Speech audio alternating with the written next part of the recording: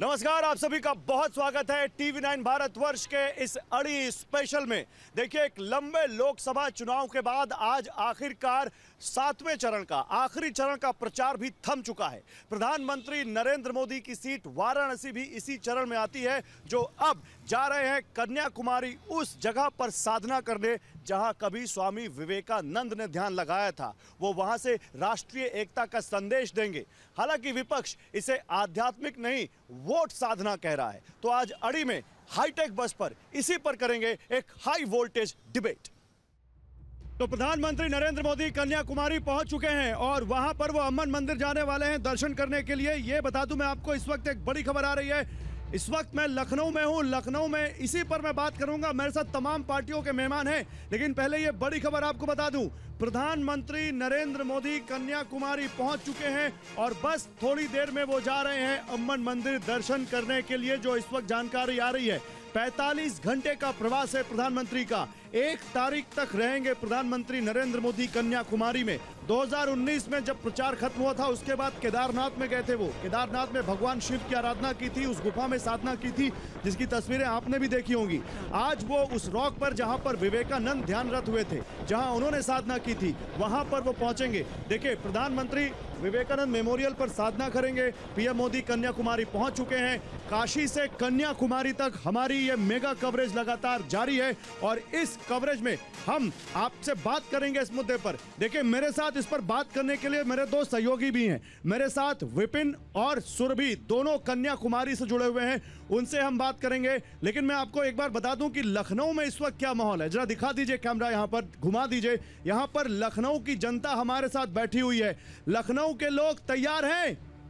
भैया, जोश दिखाइए, तैयार है? बात करेंगे। प्रधानमंत्री कन्याकुमारी में है। इस पे बात होगी? जोश दिखाइए। होगी। चलिए तो एक बार जोरदार तालियों के साथ स्वागत करते हैं लखनऊ वालों का। देखिए, अब जल्दी से मैं लखनऊ आऊँ। लखनऊ में मेरे साथ कौन कौन पैनलिस्ट हैं, इन पर बात करूँ। पहले जल्दी से विपिन के पास जाता हूँ। विपिन, प्रधानमंत्री पहुँच चुके हैं। बताइए, इस वक्त क्या अपडेट है? देखिए, प्रधानमंत्री यहाँ पर पहुँच चुके हैं। थोड़ी देर पहले तीन हेलीकॉप्टर से उनका काफिला गौरव यहाँ पर लैंड किया है और उसके बाद वो गेस्ट हाउस गए हैं और उसके बाद यहाँ अमन मंदिर जो कहा जाता है या फिर उसको पार्वती मंदिर कह लीजिए, जिसकी बहुत ज़्यादा मान्यता है, बहुत पौराणिक मंदिर है और हर आने वाला तीर्थयात्री यहाँ पे दर्शनार्थी हो, वो इस मंदिर में ज़रूर जाता है। तो पहले, सबसे पहले उस मंदिर में जाएँगे देश के प्रधानमंत्री नरेंद्र मोदी और उसके बाद सीधे वो चले जाएँगे। विवेकानंद रॉक मेमोरियल, जहाँ पर 45 घंटे उनको गुजारने हैं, मेडिटेशन करेंगे और विवेकानंद की शरण में जाकर उनके विचारों को आत्मसात करेंगे और कैसे पूरे राष्ट्र को एक बंधन में बांधा जाए, ये सूत्र पूरे राष्ट्र, राष्ट्रवासियों को देंगे। लेकिन गौरव, सबसे बड़ा सवाल ये है कि प्रधानमंत्री के इस दौरे का बहुत ज़्यादा विरोध हो रहा है कई राजनीतिक दल ऐसे हैं जिनके पेट पे दर्द हो गया है और वो कोई मैं उस पर बात करूँगा विपिन विपिन मैं उस पर बात करूँगा मैं वहाँ पे आऊँगा आपके साथ लोगों से भी बात करूँगा लेकिन सुरभि के पास चलते हैं। सुरभि प्रधानमंत्री नरेंद्र मोदी के खिलाफ चुनाव आयोग चला गया है विपक्ष उस पर भी हम बात करेंगे। लेकिन जरा जल्दी से प्रधानमंत्री के इस कार्यक्रम का उद्देश्य बता दीजिए। क्या उद्देश्य है इस कार्यक्रम का? प्रधानमंत्री कन्याकुमारी गए क्यों है? ये बता दीजिए हमारे दर्शकों को। सुरभि। बड़े इंटरेस्टिंग फैक्ट के साथ गौरव, आपकी बात की शुरुआत करती हूँ, क्योंकि आप लखनऊ में मौजूद हैं और लखनऊ के लोग इस वक्त अभी 10 मिनट पहले टीवी नाइन भारतवर्ष पर हमारे साथ थे, जिन्होंने बड़े सरल शब्दों में ये बता दिया कि उद्देश्य आप पॉलिटिकल लिहाज से मत देखिए। उद्देश्य इस लिहाज से देखिए कि प्रधानमंत्री किस तरीके से ऐसे धार्मिक स्थलों को जोड़ते हैं और हम बहुत गर्व महसूस करते हैं कि हमारे देश के प्रधान स्पिरिचुअली लोगों को कनेक्ट करने की कोशिश करते हैं और स्पिरिचुअली उनका वो कनेक्शन जो है, वो कई सालों से हम देख रहे हैं तो आज कुछ नया नहीं है। लेकिन दक्षिण में उनकी मौजूदगी को लेकर मैं जानती हूँ, आप पैनलिस्ट से चर्चा ज़रूर करेंगे, लेकिन उससे पहले सीधी तस्वीरें भी दिखा देती हूँ, क्योंकि दक्षिण के जिस छोर पर इस वक्त मैं मौजूद हूँ, वहाँ समुद्र की तस्वीरें तो लगातार हम दिखा ही रहे हैं। किस तरीके से यहाँ पर मिलन होता है लेकिन वो खास तस्वीर में अब आपको दिखाना चाहूँगी इन तेज लहरों के बीच में क्योंकि ये वो मंदिर है जहाँ पर प्रधानमंत्री अब से थोड़ी देर में आपको दर्शन करते हुए नज़र आएँगे और बहुत ऐतिहासिक मंदिर है ये तीन हज़ार साल पुराना और हम्म। इसका भी दक्षिण के लोगों के बीच बहुत बड़ा संदेश जाता है गौरव। लेकिन और साथ ही दो महत्वपूर्ण जगह जो मैं आपको यहाँ पर दिखा रही हूँ क्योंकि अब से थोड़ी देर में आप देखेंगे कि किस तरीके से यहीं पर विवेकानंद रॉक पे वहाँ पर प्रधानमंत्री मेडिटेट करते नज़र आएँगे। लेकिन कल दोपहर की वो तस्वीर परसों दोपहर की मैं आपको वो एक जून की तस्वीर दिखाऊँगी जब कभी कि इस प्रतिमा पर माल्यार्पण करते हुए प्रधानमंत्री नज़र आएँगे। तो भले ही ठीक है सुरभि सुरभि मुझे मालूम है इस वक्त क्या दिख रहा है। मुझे सुरभि आपको और विपिन को देख के मालूम मुझे इस वक्त क्या दिख रहा है। मुझे दिख रहा है समंदर किनारे वो ठंडी ठंडी हवा जो आप और जिसका आनंद आप और विपिन उठा रहे हैं। लखनऊ में, उत्तर भारत में इस वक्त बहुत गर्मी पड़ रही है। इस वक्त 42 डिग्री टेम्परेचर में लखनऊ में लोग बैठे हैं। तो आप समझ सकते हैं टीवी नाइन की लोकप्रियता और टीवी नाइन से लोगों का प्यार। लेकिन मेरे साथ कौन कौन पैनल में मैं जल्दी से बताता हूँ। मेरे साथ प्रियंका गुप्ता है, कांग्रेस पार्टी से एक बार जोरदार तालियों से इनका स्वागत करिए। मेरे साथ यहाँ पर आप मनोज यादव जी हैं, समाजवादी पार्टी से एक बार जोरदार तालियों से इनका भी स्वागत होना चाहिए। मेरे साथ यहाँ पर रोहित अग्रवाल हैं आरएलडी से इनका भी स्वागत हो। और मेरे साथ आनंद दुबे हैं, भारतीय जनता पार्टी से एक बार जोरदार तालियों से आनंद भाई का भी स्वागत होना चाहिए। तालियों में बिल्कुल भी यहाँ पर कमी नहीं होनी चाहिए। प्रधानमंत्री नरेंद्र मोदी इस वक्त अमन मंदिर में पूजा अर्चन कर रहे हैं उनकी तस्वीरें आ रही हैं वो तस्वीरें लगातार यहाँ पर चलती रहेंगी लेकिन विपक्ष इसकी खिलाफत कर रहा है। मनोज भाई शुरुआत आपसे। क्या दिक्कत है? प्रधानमंत्री पूजा अर्चना कर रहे हैं योग साधना करेंगे राष्ट्रीय एकता के लिए तो दिक्कत क्या है? मोदी जी का जी नहीं भरता है किसी चीज़ से। अरे प्रचार तो करा रहे थे तीन महीने से। आखिर क्या कमी रह गई थी? क्या कमी रह गई कि तीन महीने का प्रचार करके जी नहीं भरा? और अंतिम चरण का जो वोट पड़ना है पहली तारीख को और फिर चले गए कैमरे की बीमारी के तहत कैमरे के सामने। अब मैं तो यही कह रहा हूँ, क्या इतने दिन से कैमरा आपके साथ नहीं था? एक बात, लेकिन मज़ेदार बात आपने अपने ओपनिंग रिमार्क्स में कही कि 19 में जब बीजेपी बड़ी ऊंचाइयों पे थी तो मोदी जी केदारनाथ गए थे।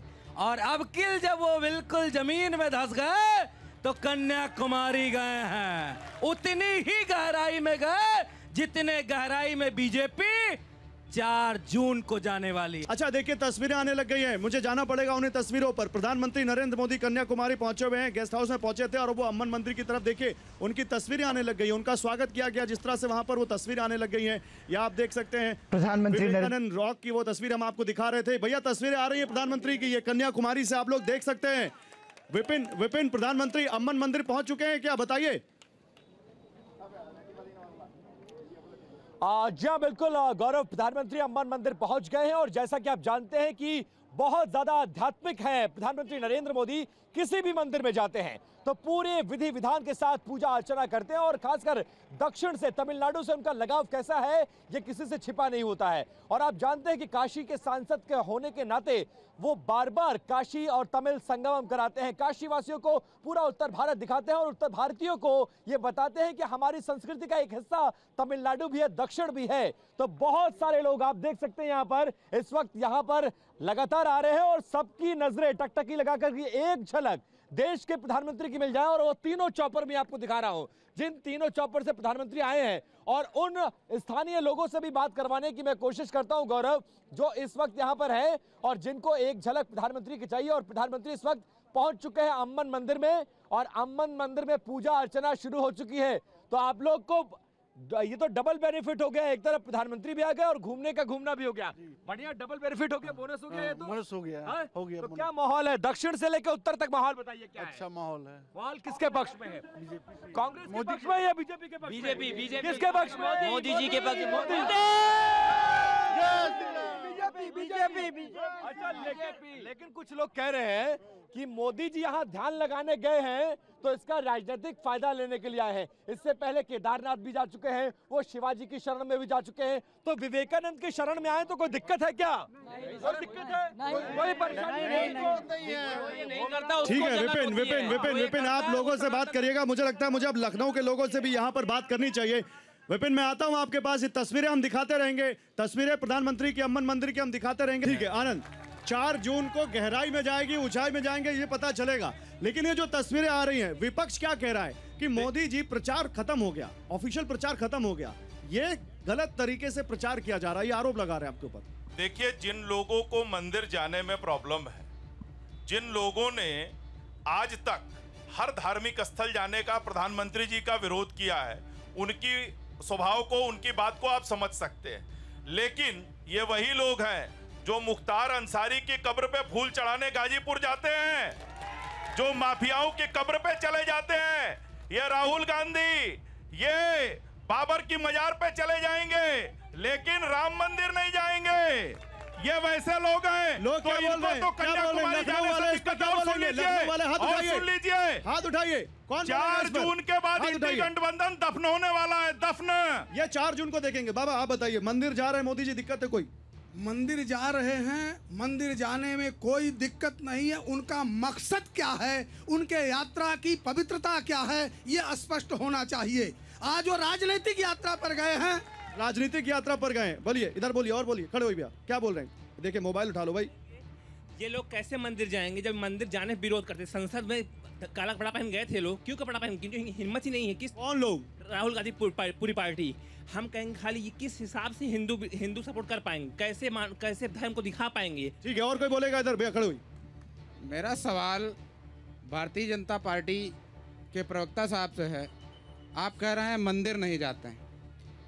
सनातन धर्म से बिलोंग करने वाले करोड़ों लोग 140 करोड़ का देश है और कुछ चंद लोग सनातन धर्म से बिलोंग नहीं करते हैं बाकी सारे लोग सनातन धर्म से बिलोंग करते हैं। नरे- कहना क्या चाहते हो? जल्दी बोलो एक लाइन में बोलो। बिल्कुल बोलेंगे। आप टाइम देंगे बोलेंगे। नहीं टाइम नहीं है बोलो जल्दी।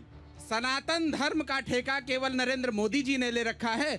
सनातन धर्म की व्यवस्था के अनुसार अगर धर्म की व्यवस्था के अनुसार सनातन धर्म में अगर ईश्वर के बाद किसी का स्थान आता है तो आदि शंकराचार्य जी का आता है और उन आदि शंकराचार्य जी के बाद में जो चार हमारे शंकराचार्य हैं चार पीठों के वो पता है वो पता है। और कुछ बोलेगा भैया इधर और कुछ बोलेगा? खड़े होइए खड़े होइए। इधर आइए, इधर आइए। आज कश्मीर में एक हादसा हुआ है अगर इनको जाना ही था तो मुझे लगता है मंदिर से पहले वहाँ जाते तो ज़्यादा अच्छा हो ठीक है और कुछ? हाँ भैया खड़े हो बोलो। बेस्ट पर वो जाते हैं उनका पर्सनल मैटर है। ये उसके लिए ये नहीं है कि राजनीति का मैटर है वो जाते हैं अपने लिए जाते हैं। बाकी पूरे भारत के लिए भी जाते हैं। भैया आपस में लड़ाई नहीं आपस में लड़ाई नहीं नहीं नहीं आपस में लड़ाई नहीं आपस में लड़ाई नहीं। क्या बोल रहे हैं? खड़े होइए खड़े होइए क्या बोल रहे मैं कहना चाहूँगा बड़े भारी सनातनी बनते हैं। माता जी खत्म हुई थी बाल तक के नहीं बनवाए। सनातन में सबसे बड़ा वो, वो काम है। और आप वहाँ से माइक हटा लिए। चार महान चार संत चार शंकराचार्य लगातार मना करते रहे कि आधा अधूरा मंदिर न करिए। मगर इन्होंने मंदिर का उद्घाटन करने का और क्या जीर्णोद्धार करने का काम किया। एक बात पहले बता दूँ माइक में किसी के सामने से नहीं हटाता लेकिन इतना लंबा नहीं बोल सकते। जिसको बोलना है चंद शब्दों में अपनी बात बोलिए जैसे आप बोल रहे हैं। ठीक है भैया और बोलो कौन बोलेगा? जल्दी। मैं सर ये बात बोलना चाहता हूँ कि इस समय देश में जो ज्वलंत मुद्दा है वो बेरोजगारी का है नौकरी का है लोगों को ना बेरोजगारी मिल दूर हो रही है।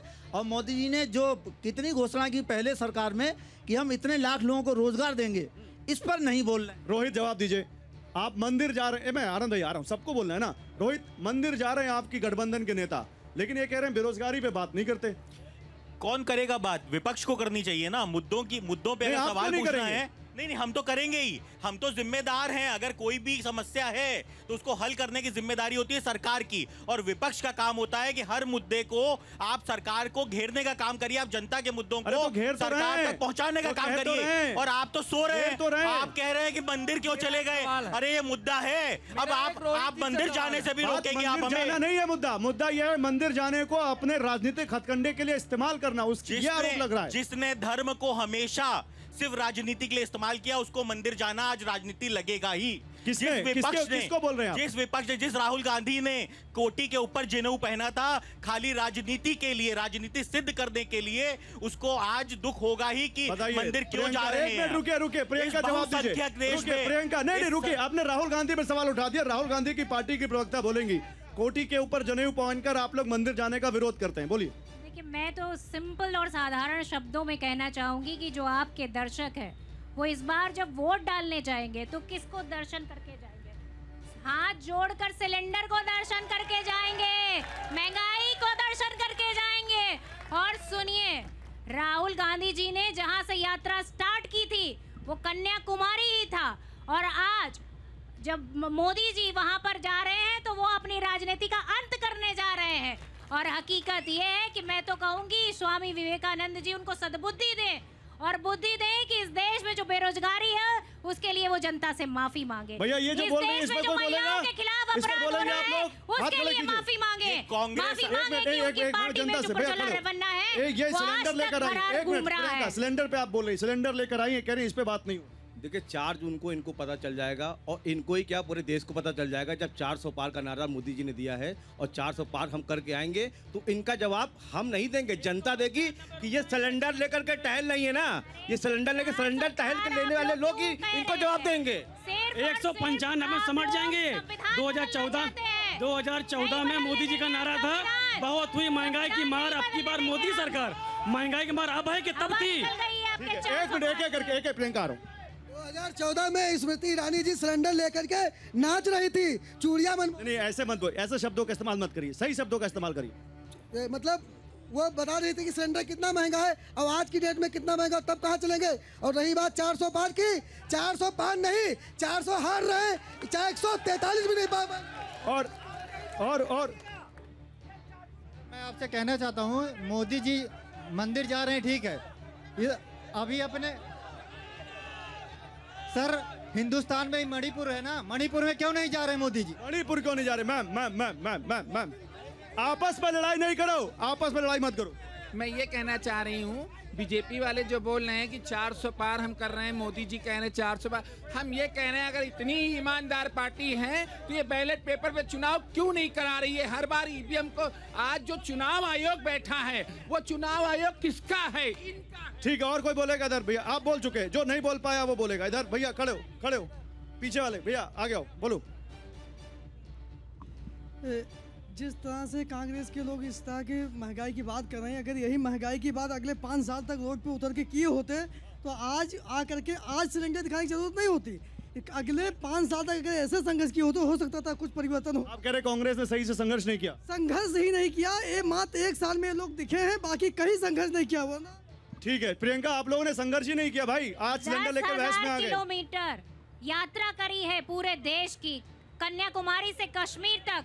मणिपुर से महाराष्ट्र तक। मैं पूछना चाहती हूँ कि आप बताइए कि भारतीय जनता पार्टी के मैनिफेस्टो में कहीं रोज़गार है क्या? बुरा भारतीय जनता पार्टी बीजेपी वाले बता देंगे। आनंद बता देंगे। एक मिनट एक मिनट एक मिनट आनंद जवाब दीजिए। आपके मैनिफेस्टो में नहीं रोहित रुक रोहित रुक रुके आपके मैनिफेस्टो में जवाब है देखिए सबसे पहली चीज़ मैं आपको इनको बता दूँ। क्या बेरोजगारी इन्होंने? सिलेंडर दिखाया सुनिए मैं इनको बता दूँ इन्होंने सिलेंडर दिखाया जाके चेक करिए। एक जनवरी 2014 बारह सौ इकतालीस रुपया का सिलेंडर था। आज आठ सौ तीन रुपए का है। जब हमने सत्ता छोड़ी थी चौतीस रूपए पेट्रोल था। बोलने दो,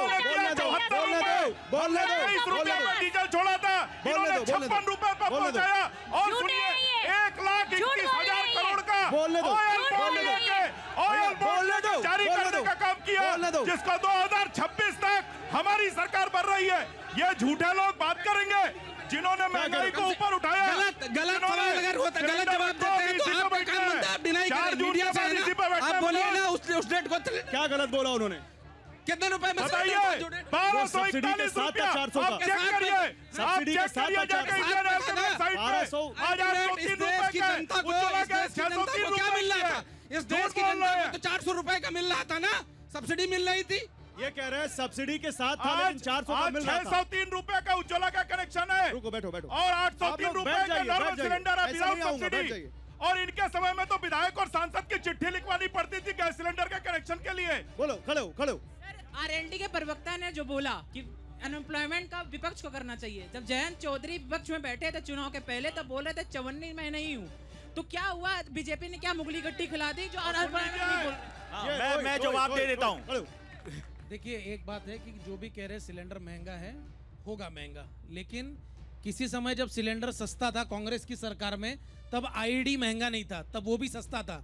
जितने सिलेंडर के वजह से घर जल रहे हैं, उससे ज़्यादा घर आईडी के वजह से बम ब्लास्ट में जले हैं। तो सिलेंडर घर नहीं जल रहे चूल्हे जल रहे हैं घर के। ठीक है सिलेंडर की वजह से लोगों के घर का चूल्हा भी जल रहा है और लोग खुशहाली से ज़िंदगी जी भी रहे मेरे लिए राष्ट्रीय सुरक्षा ज़्यादा बड़ा मुद्दा राष्ट्रीय सुरक्षा ज़्यादा बड़ा मुद्दा मनोज हाँ मनोज जवाब दीजिए जवाब दीजिए। ये बड़ी अच्छी बात कही भाई ने। तो मैं आपसे एक बात पूछना चाहता हूँ। तो चौदह से पहले मोदी जी भाषण में क्यों कहते थे सिलेंडर महँगा हुआ कि नहीं हुआ? पेट्रोल महँगा हुआ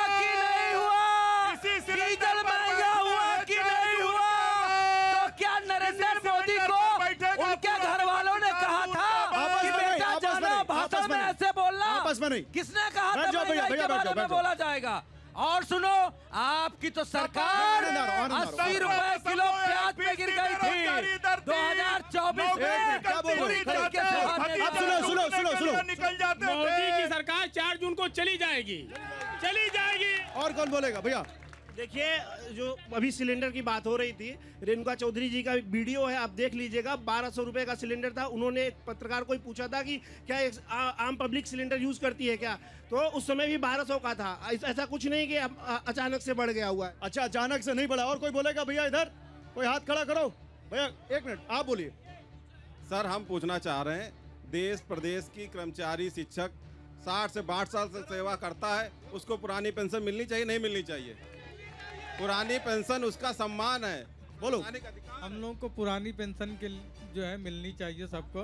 इसके लिए नहीं तो पुरानी पेंशन तो कांग्रेस वालों ने भी अपने मैनिफेस्टो में नहीं रखा आप उनसे नहीं पूछ रहे। कांग्रेस वालों ने ये कहा है कि कुछ चीज़ें ऐसी हैं जो नहीं रख सकते हैं लेकिन उन्होंने कहा कि हम इसको बहाल करेंगे। और पूछ लेता हूँ। मैं नहीं नहीं रुको प्रियंका जवाब देंगे प्रियंका। ओपीएस में कांग्रेस हमारी हिमाचल में सरकार है।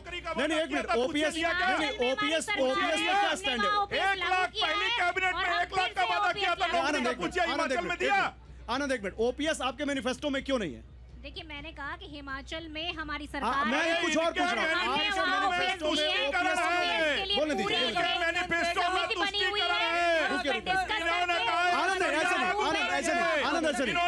हम मुस्लिमों को आरक्षण देंगे बोलना दीजिए। देखिए मैं सिर्फ़ इतना कह रही हूँ कि हमने इनकार नहीं किया है हमने ये कहा है कि उस पर पूरी समिति बनी रहेगी और मैम तो आपके मैनिफेस्टो में क्यों नहीं है वो? आपके मैनिफेस्टो में तो उनचास पेज का मैनिफेस्टो हिमाचल वाला तो पूछ लीजिए दिया पहली कैबिनेट में एक तो लाख नौकरी देने का वादा था। बीस लाख सरकारी नौकरियाँ खटाखट खटाखट खटाखट। हम चार जून के बाद विपक्ष हो जाएगा फटाफट सपाचट फटाफट सपाचट सपाचट ये वो दस लोग किलो हैं राशन जिनके देंगे। कि आप पंद्रह एक रुपया चलता था कांग्रेस सरकार में और आते थे पंद्रह पैसा बचता था। आलो, और मनमोहन सिंह से पूछा जाता क्यों मनमोहन जी? दो दो कितना होता है? तो मनमोहन कहते दो दो चार तो होता मगर सोनिया जी से पूछ बताएँगे। ये वो लोग आरोप लगाने वाले लोग हैं। कोई नहीं हंसेगा कोई- ना कोई और ताली भी नहीं बजाएगा। बेमतलब परेशान हो। कोई ताली भी नहीं बजाएगा। सपा वाले साहब से पूछना है गोमती रिवर फ्रंट के नाम पर 1740 करोड़ रुपए लगे। गोमती रिवर फ्रंट को विकसित किया गया। साथ में नदी भारत की माता मानी जाती है। नदियों को साफ़ करना क्या हमारी ज़िम्मेदारी नहीं थी? जब भाजपा की आज सरकार है सात साल हो गए। अभी तक क्या एक भी नदियों को साफ़ नहीं किया जाना चाहिए? तुम किससे सवाल पूछ रहे हो? बीजेपी से कि सब दोनों से। बीजेपी से और एसपी से दोनों से। ठीक है। और भी अदर कोई बोल रहा है? पीछे ठीक है जवाब दीजिए मनोज जी जवाब दीजिए। इधर। देखिए भारत में नदियाँ साफ़ करने का सपना अटल बिहारी वाजपेयी जी ने दिखाया था। वो तो साफ़ किया नहीं। दूसरे वाले जो आए प्रधानमंत्री कह रहे साढ़े सत्रह सौ करोड़ का आपने गोमती रिवर फ्रंट बनवा दिया। अरे तो सामने देखो ना। बना तो है। पूरा रिवर फ्रंट देखो ना। जनता से पूछो।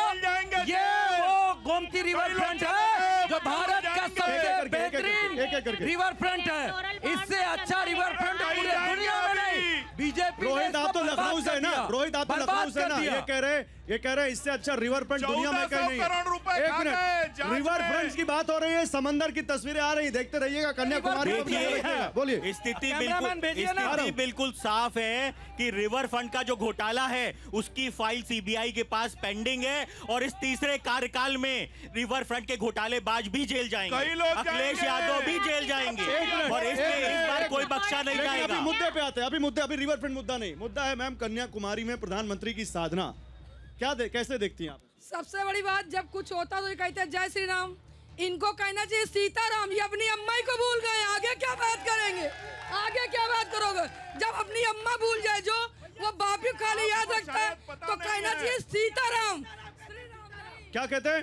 सीताराम सीताराम कहिए चाहे विधि रखे ताहे विधि रहिए ज़िंदगी की डोर सौंप दे दीनानाथ के झोपड़ी में रखे चाहे महलों में वास दे। एक काम करते हैं। हमको कांग्रेस से पूछना है कि आपके नेता ने कहा था इन, इनकी पार्टी को हम कभी गठबंधन नहीं करेंगे। अपने बेटे कसम खाते हैं हम हम गठबंधन नहीं करेंगे। फिर चोरों से क्यों मिल गए क्यों क्यों मिलना पड़ा उनको? कौन? चोर काहे मिल गए? क्यों मिल गए? गठबंधन नहीं करेगा? पूरी गठबंधन। आप सपा कांग्रेस क्यों मिल गए? सारे चोर एक हो गए हैं। सारे चोर क्यों एक हुए हैं? हराने के लिए मोदी को। सारे चोर एक हो गए हैं। ठीक है। बोलो, बोलो। क्या? लाइए लाइए। दे, देश के प्रधानमंत्री पूरे विश्व की नज़र है और देश के प्रधानमंत्री जो चुनाव चल रहा है उनको याद आता है ये आपकी दो भैंस में से एक भैंस चुरा ले जाएँगे उनको दे देंगे की मंगलसूत्र दे देंगे। ये देश के प्रधानमंत्री हैं।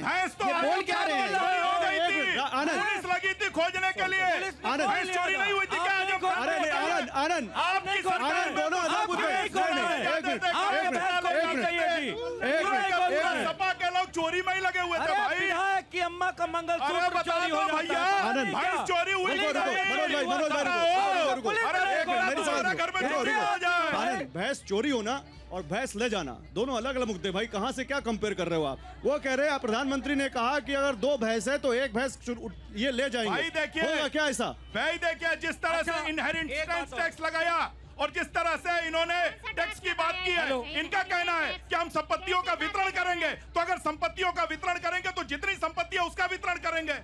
बताइए प्रियंका प्रियंका मनोज जी बात। नहीं प्रियंका जवाब फैलाने वाले लोग हैं। आवाज़ तेज करिए माइक की। इस बार जुमला फैलाने वाले लोगों को जनता ने पूरी तरह से नकार दिया है।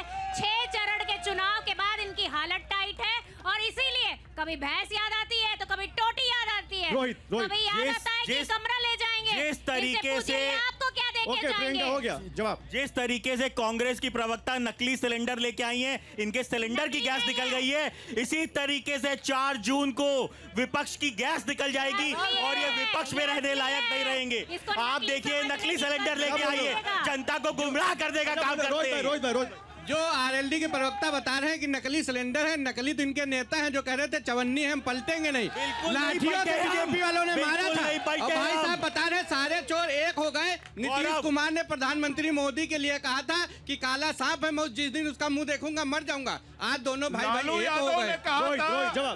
गौरव। जवाब गौरव। हमें हाथरस में लाठियाँ पड़ी थी।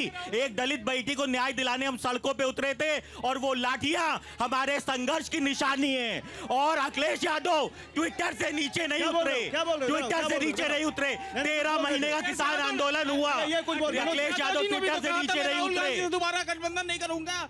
क्यों किया उन्होंने गठबंधन दोबारा? अखिलेश यादव ने क्यों किया दोबारा हाँ, गठबंधन? कहा था? राहुल गांधी से गठबंधन नहीं करूँगा। ये कहा था। कहा सुना आपने? चैनल पे सुना और कहाँ भैया मनोज जी ये तो देखो, बात मनोज जी मनोज जी मनोज जी मनोज जी। कि हमने हमने एक मिनट मनोज जी मनोज जी मनोज इन्होंने कहा कि हमने कहा कि हम गठबंधन नहीं करेंगे।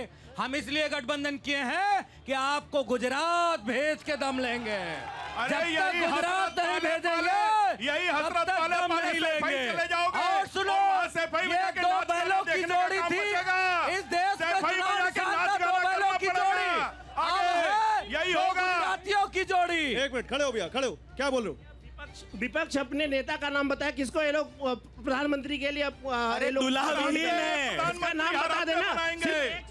हर हफ़्ते बनेगा कोई मुजरा देखने वाला प्रधानमंत्री नहीं बनेगा। अरे भाई कोई जुमला बोलने वाला तो सैफई वालों का नंबर ही नहीं आएगा। परिवार एक साथ देखता था पर्सनल जा रहे हैं। पर्सनल जा रहे है।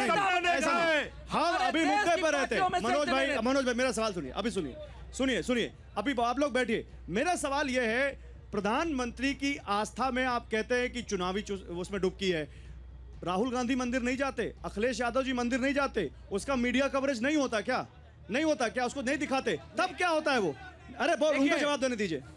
देखिए मंदिर अगर कन्नौज में हमारे नेता मंदिर गए तो ये सामंतवादियों ने उस मंदिर को धुलवाया और इसका जवाब पिछड़ा दलित अल्पसंख्यक पीढ़िया और दबा के तो मंदिर गए ना वो। मंदिर तो मंदिर गए ना। भगवान में आस्था नहीं है क्या पता नहीं है? तो फिर मंदिर जाते हैं ना। हिंदू है? हमसे बड़ा कौन हिंदू है? इनका इनका कुछ पता आता है? तो बोलिए मथुरा में भगवान कृष्ण का मंदिर बनवाएँगे कि नहीं? में हैं। बोलिए बोलिए भगवान कृष्ण का मंदिर बनवाएँगे कि नहीं बनवाएँगे। मथुरा में? ये इनका क्या मथुरा में एक एक करके एक एक करके नहीं इनसे पूछिए कि मथुरा में भगवान कृष्ण का मंदिर बनवाएँगे कि नहीं बनवाएँगे? ये तो यादव वंश आते हैं। मनोज यादव खुद हैं। यदुवंशी है। अच्छा सुनो एक काम करते हैं हैं मथुरा में भगवान कृष्ण का मंदिर बनवाएँगे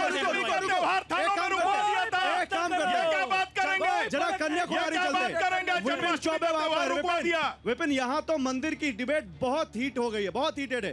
हीट और यहाँ पर बहुत गर्मी भी है और यहाँ पर बहस में भी बहुत गर्मी है। कन्याकुमारी में मंदिर में प्रधानमंत्री नरेंद्र मोदी है वहाँ क्या हो रहा है? जरा बताइए क्या हो रहा है चल रहा है? जल्दी से छोटा सा अपडेट देखिए समंदर का किनारा है गौरव और तीनों समंदर का संगम होता है। विवेकानंद यहाँ पर आ, आप जानते हैं कि ध्यानरत रह के गए हैं। और यहाँ आस्था, संस्कृति, सभ्यता और आज राजनीति का भी संगम हो रहा है। प्रधानमंत्री नरेंद्र मोदी अमन मंदिर में मौजूद है और थोड़ी देर बाद ये इसी विवेकानंद रॉक मेमोरियल में पहुँच जाएँगे और उनको देखने के लिए एक बहुत बड़ी तादाद में पब्लिक को देखिए। कितनी बड़ी तादाद में यहाँ पर पब्लिक आई है और सबको सिर्फ़ इंतज़ार एक झलक अपने देश के प्रधानमंत्री का है उनको कोई फ़र्क नहीं पड़ता। कौन सी पार्टी उनका विरोध कर रही है किसके पेट में दर्द हो रहा है इसके विजुअल्स आने चाहिए कि नहीं आने चाहिए प्रधानमंत्री को जाना चाहिए कि नहीं जाना चाहिए? लोग इस बात से खुश हैं कि प्रधानमंत्री उत्तर भारत से मैं मैं मैं आता हूँ विपिन आपके पास मैं आता हूँ विपिन सुरभि भी वहाँ पर है। सुरभि जल्दी से एक अपडेट आप भी दीजिए। अब यहाँ से फिर प्रधानमंत्री का क्या कार्यक्रम होगा सुरभि बताइए।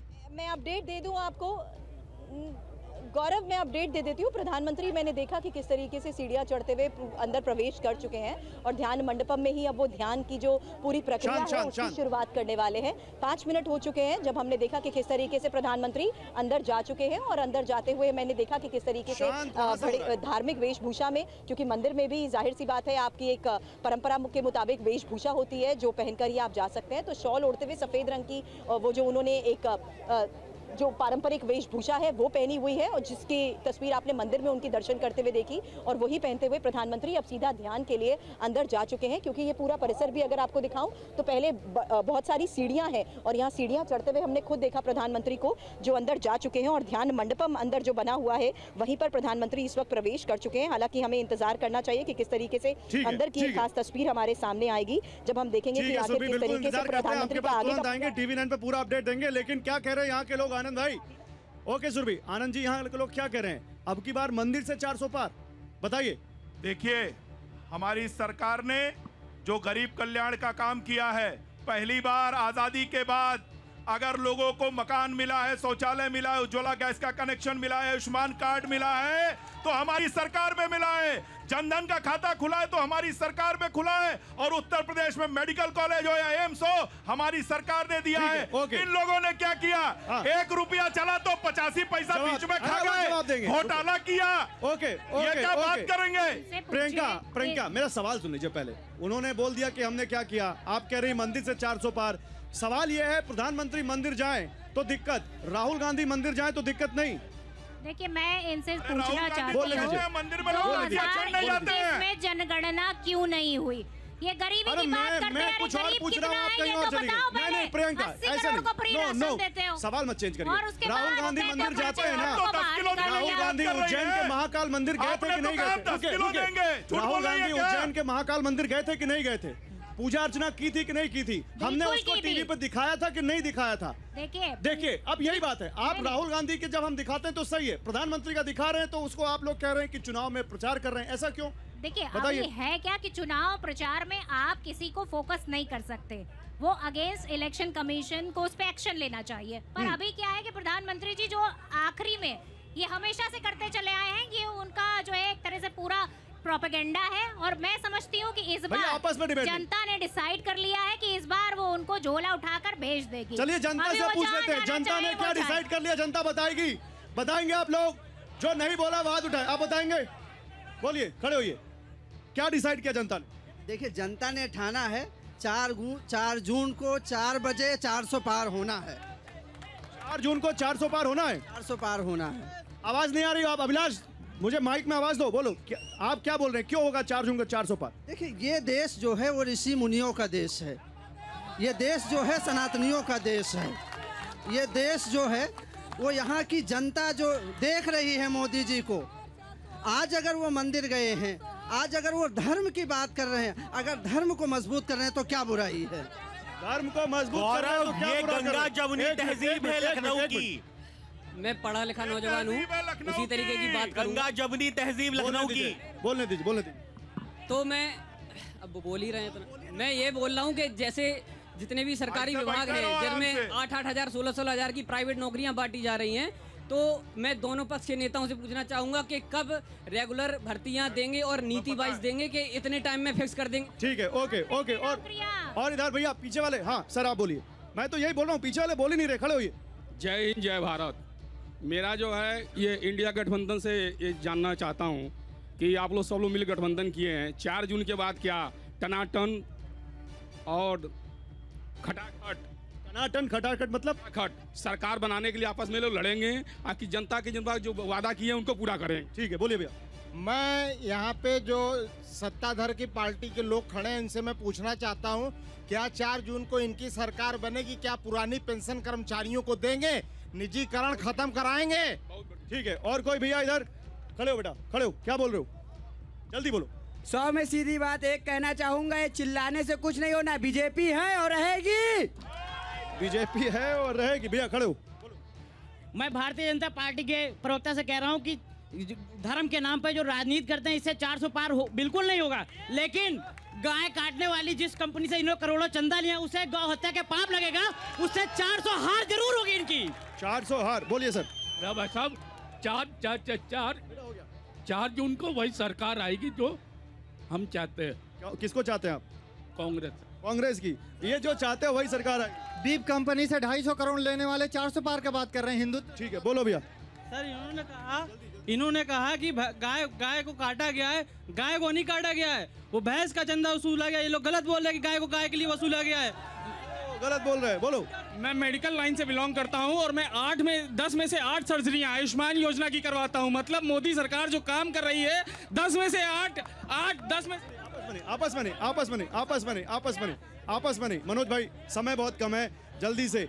तमाम मुद्दे देख लिए लेकिन एक मुद्दा जो है जहाँ पे आप लोग शायद कमज़ोर पड़ जाते हैं वो है राष्ट्रवाद। जहाँ पे बात आती है कि भाई प्रधानमंत्री हिंदू हृदय सम्राट है वहाँ पे अरे उनको बोलने दीजिए। अरे भाई तो उस पे आप कमज़ोर पड़ जाते हैं। चुप रहेंगे नहीं बोलने दीजिए बोलने दीजिए जल्दी। देखिए मैं एक बात कहता हूँ। राष्ट्रवाद में क्या नरेंद्र मोदी हमसे आगे हैं? गोली खाए किसान का बच्चा बॉर्डर पे शहीद हो हमारे घर का बच्चा और अडानी अंबानी के हम मित्र थोड़ी नहीं। राष्ट्रवाद में बीजेपी हमको छू भी नहीं सकती। और मंदिर जाने की बात की, चुनाव जब होता है, चुनावी महापर्व तो भगवान जनता होती है। इंडिया गठबंधन जनता के पास जा रहा है। जिनको मंदिर दीजिए, जाना है, वो मंदिर। जाएँगे दिखावा करने के लिए।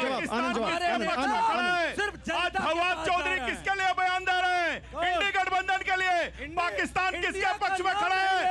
इंडी के पक्ष में। और सुनिए सर्जिकल स्ट्राइक एयर स्ट्राइक का सबूत किसने मांगा?